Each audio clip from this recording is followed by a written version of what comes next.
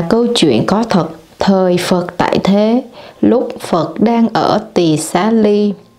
Bấy giờ, Đức Thế Tôn giảng về pháp môn bất tịnh quán cho các tỳ kheo. Các tỳ kheo tu pháp bất tịnh quán, chán ngấy nỗi khổ của thân. Trong số họ có người dùng dây thắt cổ, có người uống thuốc độc, có kẻ dùng dao tự sát, có kẻ nhảy xuống hố. Kẻ lao vào lửa, tự vẫn rất đông. Họ còn bị lộc trượng ngoại đạo trước sau giết không phải một người, hai người, ba, bốn, năm người, mười người, mà cả thảy sáu mươi người. Lúc ấy, vào ngày rằm hàng tháng, đức thế tôn đang ngồi giữa chúng tăng, định làm lễ bố tát ngài nhìn xung quanh thấy chúng tăng thưa thớt bèn hỏi a nan, hôm nay chúng tỳ kheo vì sao mà ít thế? Vì sao không thấy tỳ kheo a, b, vân vân? A nan liền bạch với phật, bạch thế tôn, trước đây thế tôn đã vì các tỳ kheo giảng về pháp bất tịnh quán, ca ngợi công đức tu tập pháp bất tịnh quán các tỳ kheo siêng năng tu pháp bất tịnh quán. Sau khi tu pháp bất tịnh quán, họ rất chán cái thân này. Do thế, có người cầm dao tự sát, thậm chí có người còn nhờ lộc trượng ngoại đạo giết mình. Chỉ trong nửa tháng mà mất 60 người. Những ai không đến đều đã mệnh chung rất mong thế tôn dạy cho pháp khác để các tỳ kheo khỏi chán sát thân mà tự sát. Hầu các bậc hiền thánh còn tồn tại lâu ở thế gian, đem lại lợi ích cho trời, người. Đức phật của trách và chế giới rằng những tỳ kheo nào tự sát là phạm thâu lan giá.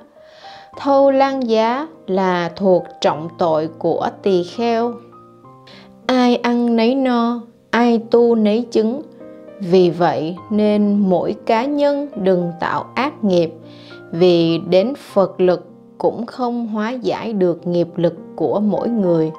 Dù họ tự sát không phải vì oán hận và bạo động, mà chỉ vì nhòm gớm thân xác bất tịnh này nên chỉ đơn giản là muốn từ bỏ nhưng vẫn bị đức phật quả trách và phạm vào tội nặng. Để hiểu được phần nào tự tử là một tội ác lớn như thế nào và vì sao đức phật tuyệt đối cấm việc tự tử, thay vì lời bàn, dưới đây là câu chuyện thật nhân quả được kể lại trong quyển nhân quả giải theo phật giáo dưới đây là câu chuyện mà một người cư sĩ đã chia sẻ cho chúng ta nhằm cảnh tỉnh tất cả mọi người. Hãy sống có trí tuệ và nghị lực để vượt qua nỗi đau khổ. Chớ có sinh tâm chán nản, muốn quyên thân mà chuốc lấy bi thương. Trong kinh phật tả có sáu cõi trời, người, atula, địa ngục ngạ quỷ và súc sanh. Vì vậy, khi tôi tả về cõi quỷ, hy vọng bạn không ngạc nhiên. Cũng có một số ít người trực tiếp thấy, nhưng phần đông người ta không thấy. Đa phần, những người gần chết, khí lực, tinh thần suy yếu, họ cũng rất dễ nhìn thấy được người ở cõi âm. Bây giờ mời chư pháp hữu hãy xem để cùng chia sẻ kinh nghiệm quý giá này với tôi. Cõi âm khí rất lạnh, vì vậy khi tiếp xúc hay tham quan cõi âm, rất cần có định lực thệ nguyện lớn, tinh thần trong sáng. Cõi quỷ rộng lớn vô biên, được phân thành nhiều khu vực. Bạn đừng cho rằng tự sát là hết khổ, mà chính là mở màn cho thống khổ ngút trời. Cho dù là bạn chết vì tình, vì thiếu nợ, vì đủ lý do, vân vân, mà bạn muốn nhảy lầu, nhảy sông, uống thuốc độc, cắt mạch máu cứa cổ, treo cổ, vân vân. Khởi lên ý niệm tự tử đủ cách đủ kiểu để hoại thân, thì sau khi chết rồi, những thống khổ bạn phải nhận lãnh càng bi thảm hơn gấp bội. Người tự sát chết rồi, thì linh thức lập tức bị giam cầm, chìm trong khốn khổ triền miên. Phải biết rằng, tự tử có ba tội nặng. Thứ nhất, bất hiếu với song thân. Thứ hai, tự hủy hoại hình hài phụ phúc báu hy hữu có được thân người, lại không biết quý trọng mạng sống. Và thứ ba là ngu si vô trí. Thân ta là do cha mẹ sinh ra, sống đã không tận hiếu báo ân, không làm việc ích đời lợi người, lại ngu muội tự hủy hoại, giết thân mình. Đây là tội cực kỳ nặng. Phải biết, thân người khó được, phật pháp khó nghe kiếp này bạn đã mang được thân người, sao lại khinh thường mà hủy hoại chứ? Do lỗi phù bỏ thân người, nên bạn sẽ rất khó có cơ hội đầu thai làm người. Cho nên tự tử là một hành động quá ngu si vậy. Ví dụ như bạn thiếu nợ nên chọn cách chết để trốn, thì phải hiểu rằng đời này nợ chưa trả xong, thì đời sau vẫn phải trả nhiều hơn hiện tại, còn gánh thêm đại tội tự sát nữa.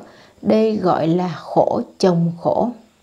Những người tự sát sau khi chết rồi sẽ không ngừng diễn lại động tác tự sát đó. Ví dụ như anh a vào lúc 2 giờ chiều nhảy lầu tự tử. Sau khi chết đi, linh thức anh sẽ bị giam cầm thọ khổ và cứ loanh quanh ở nơi mà mình tự sát. Hàng ngày cứ hệ đến đúng giờ mà anh từng hủy thân, thì anh sẽ trở lại đúng địa điểm đó, ngôi lầu đó, để mà diễn lại cái cảnh tự sát đó một lần. Ngày nào cũng phải diễn như vậy, diễn mãi động tác hủy thân đó cho đến khi tuổi thọ hết. Nghĩa là sao? Nghĩa là hệ dương thọ của anh ta được định là sống đến 70 tuổi, nhưng vào năm 40 tuổi thì anh tự tử. Vậy thì sau khi chết rồi, ngày nào anh cũng phải diễn lại cảnh tự tử này. Có nghĩa là ngày nào cũng phải nhảy lầu suốt 30 năm cho đến lúc dương thọ tận. Hơn nữa, mỗi ngày những tư tưởng cực kỳ thống khổ của giây phút tự sát cộng thêm đau đớn trên thân cũng đồng tái hiện lại, hoàn toàn giống y như nhau. Ngoài thời gian này ra thì linh thức anh bị nhốt tại khu phạm nhân tự sát để thọ hình phạt. Trong khu vong tự sát, trú này phi thường u ám, rất ẩm ướt và hôi thối. Nơi đây, tâm ai cũng ôm đầy oán hận. Tiếng rên khóc bi thương, thở than không ngừng hoàn toàn chẳng có gì cả. Chẳng có nhà, giường, truyền hình, yến tiệc, thức ăn, vân vân. Cái gì cũng không có, chỉ có sự thống khổ và khóc lóc mà thôi. Tôi tiến đến một phòng giam, bên trong chứa đầy vong tự sát. Oán khí xung thiên phi thường khó chịu. Nhìn mặt người nào cũng rất thương tâm. Tôi bước lại gần một vong thấy toàn thân anh ướt nhẹp, mắt lõm sâu. Tôi chào, bạn ổn không? Anh ta nghiêng đầu nhìn tôi rồi đáp, ngài là ai? Tôi là một người bình thường, phát nguyện đến cõi âm để tìm hiểu xem những người tự sát chết rồi thì cảnh giới của họ ra sao. Cần gì phải hỏi, nhìn là đủ biết tôi quá thống khổ rồi tôi không biết nói thế nào để diễn tả được tâm tình hiện tại của mình. Chỉ có thể nói rằng tôi rất khổ khổ và rất khổ, chỉ có thế mà thôi. Vì sao toàn thân anh ướt hết vậy? Do tôi nhảy sông tự tử. Vì sao anh lại muốn tự sát? Tôi không muốn kể ra đâu, xin đừng hỏi nữa. Được rồi, xin chào anh tôi bước đến một nơi khác, thấy trước mặt mình là một nữ nhân liền hỏi, chào chị, vì sao chị lại ở nơi này? Ngài có thể giúp tôi tìm một đứa bé được không? Cầu xin ngài đấy. Con của chị ư? Đúng vậy, tôi cho con gái tự sát theo mình, nhưng bây giờ không biết con bé ở đâu bởi sau khi tự sát xong thì linh thức tôi liền bị áp giải vào đây. Còn đứa con thì không thể tìm ra bóng dáng nó. Tôi rất đau khổ. Con gái chị hiện đang ở một khu vực khác, chờ đi đầu thai. Bởi vì chị tự ý đoạn mạng con trẻ, hoàn toàn không có sự đồng ý của nó, nên tội chị rất là nặng do con chị còn bé ngây thơ chưa biết gì, nên không bị tính vào tội tự sát. Do vậy mà nó được đưa đến nơi khác. Thế ư, sao không ai nói cho tôi biết điều này? Tôi van cầu ngài, xin hãy dẫn tôi đi gặp nó, có được không? Xin lỗi, tôi không thể dẫn chị đi được. Đây là cõi âm. Có quy luật riêng của cõi âm. Chị nhất định phải chịu quả báo tự sát ở nơi này đó là luật. Chị ta bật khóc thảm thiết. Tôi đi tiếp một quãng, băng qua một ngọn núi thì đến một chỗ khác. Trong đây là một khu biệt giam các vong tự sát khác nữa. Tôi gặp một người đàn ông, nơi bụng ông ta có đường tét dài và sâu, máu me ràn rụa. Tôi hỏi, tiên sinh à bụng ông bị làm sao thế? Đây là vết thương do tôi dùng dao rạch bụng mình. Vì vợ tôi ngoại tình theo trai nên tôi rất hận bà Dù vậy, ông cũng không nên tự giết mình chứ. Ban đầu thì tôi giết bà sau đó mới tự sát. Tôi chết rồi thì bị nhốt vào đây. Hàng ngày đều phải quay trở về nhà để tái diễn lại cảnh tự sát.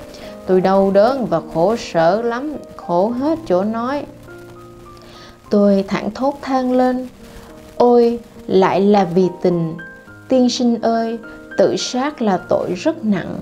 Ông có thể niệm phật được không? Rồi tôi dạy ông niệm, nam mô địa tạng vương bồ tát, và bảo, ông nhất định phải niệm, sẽ giảm nhẹ tội báo. Còn nữa, ông phải sám hối vì giết người là quá sai lầm do ông đã giết người, lại còn tự sát, nên tội càng nặng hơn. Xin hãy nghe lời tôi khuyên, nhất định ông phải cố gắng mà niệm phật nhé. Chỉ thấy ông ta gật gật đầu, không nói gì. Trước mắt tôi lại hiện từng vong linh đầy oán hận rất đáng sợ. Có vong toàn thân đầy máu, tuôn chảy không ngừng. Tận mắt chứng kiến những cảnh này tôi quả thật lấy làm kinh hãi vô cùng.